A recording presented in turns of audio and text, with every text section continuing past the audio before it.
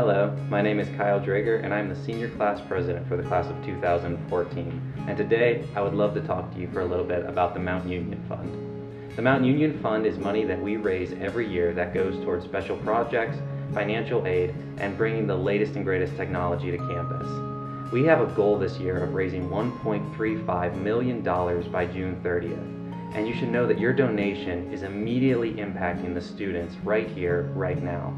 So won't you click the contribution link below and make your donation today? We really appreciate it and you'll be helping us make a better tomorrow.